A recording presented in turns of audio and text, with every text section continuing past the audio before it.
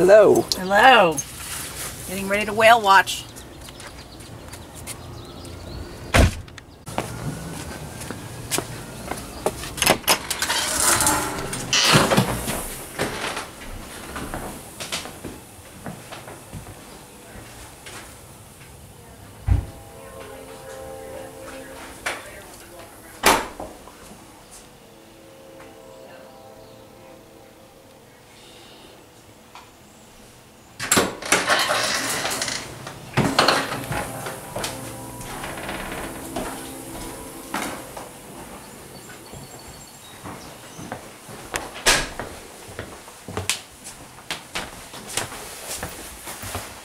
Hi. Hi. Ready? Let's go. I'm ready.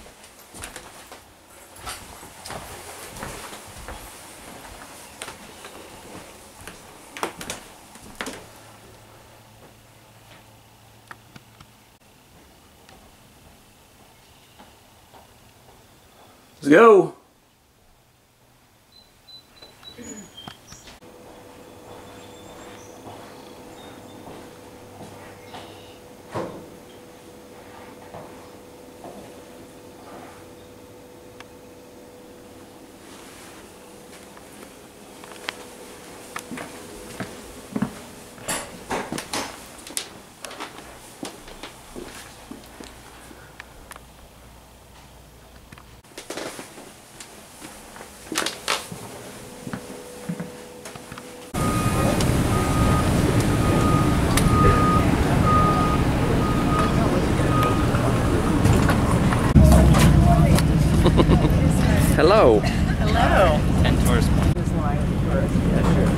Ourselves away.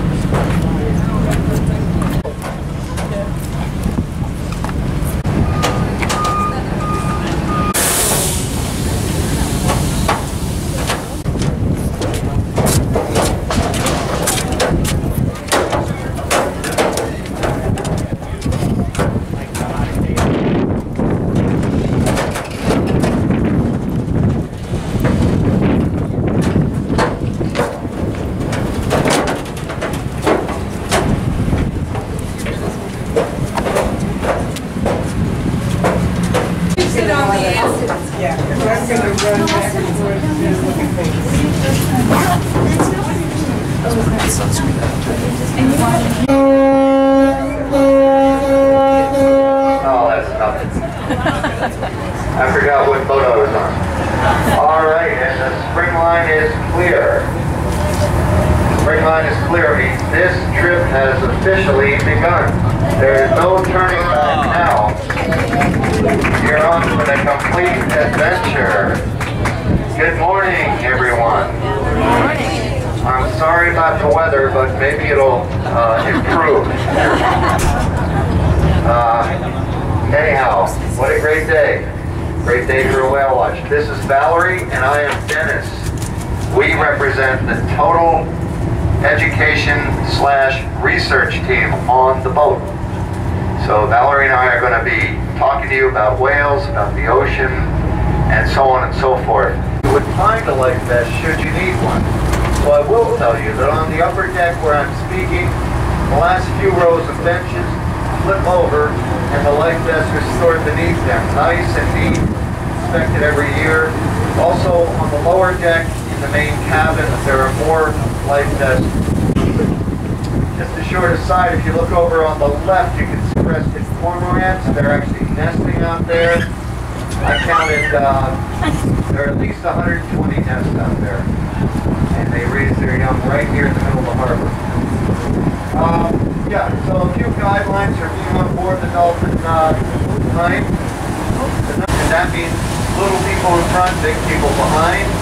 Uh, when we get to whales, that is on November 11, 1620, the good ship Mayflower sailed into Provincetown, making Provincetown the first in the monument I pointed out. Our next landmark is going to be our first lighthouse, which is Long Point Light. Uh, and Long Point Light is out here on Long Point, which happens to be the very fingertip of Cape Cod. Right up here on our right, we're going to pass town town in, uh, in like 1940s, there were 30 whaling ships in Provincetown. At one time, 30. Days only a mother can love. But they do spend the most time at the surface, uh, so they people like them. And uh, five days, they're going to be out of the bay.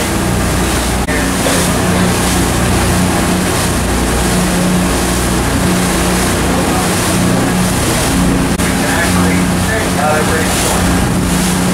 It's a beautiful place to be, except for the annoying, uh, both Valerie and myself, any of the crew really, be very happy to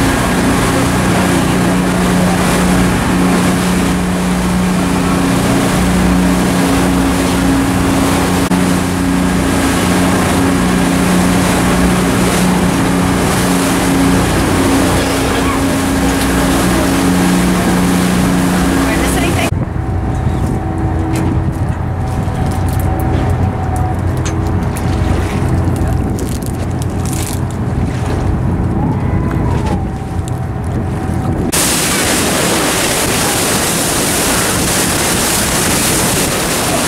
very low sound pop pop.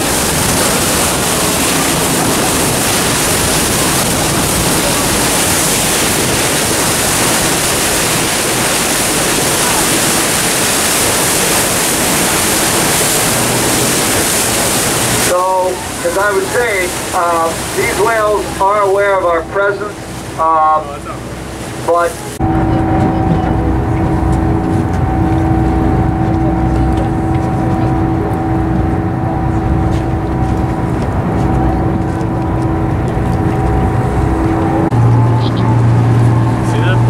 You see it?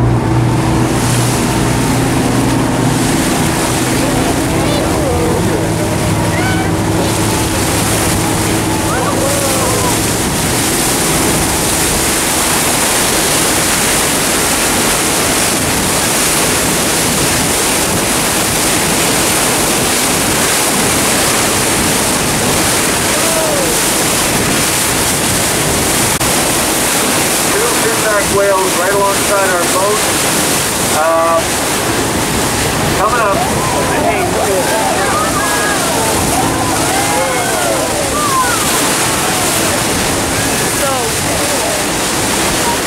So, uh, we are on the right side of these whales. On the right side of the finback whale, the face and the cheek is white. Um, the left left side is dark.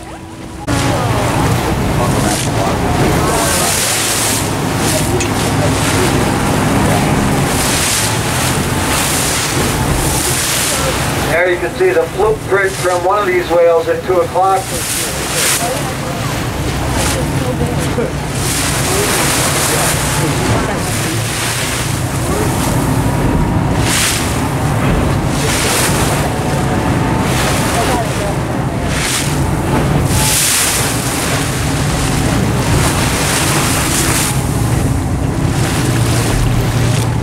At 1 o'clock again, you see the enormous size of this whale. This is a 60, 65 foot whale. And that was not an arching dive up again. There's the blowholes there. One at uh, 12.30, one at uh, 1.30. And they're still with us.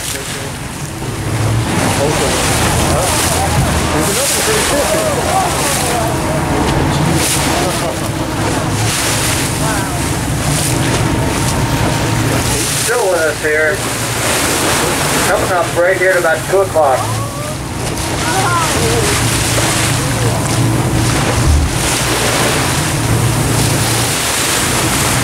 Now that's whale breath coming over on the right side of the boat. You're anointed. Coming up.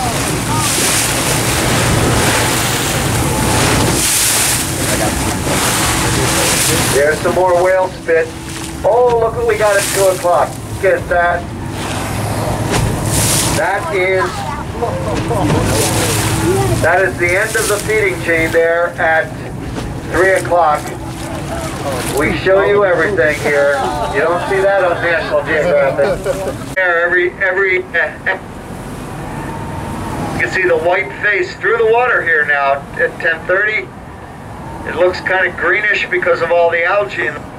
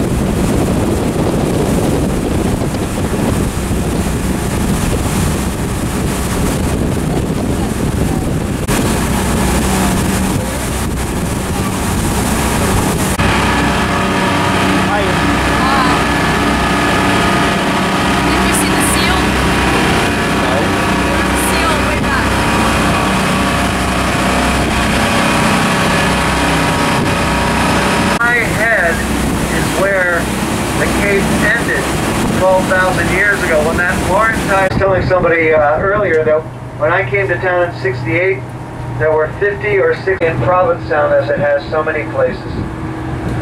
Um, okay, the Nate and Howard are on the job. Thank you for my boat over there. I wasn't using it today, so I year round, and this is the second batch of them. But and uh, these photographs went up for our the uh, many of our townspeople. The original Portuguese came to Provincetown on a whaling ship, primarily from the Azores. Or wherever you're headed, you will be docked in just